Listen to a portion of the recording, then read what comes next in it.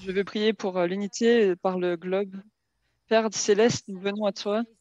Comme Jean 17 a dit, nous croyons que pendant ce temps de la fin, tu es sur le point de, ramener l'ensemble du globe à venir ensemble.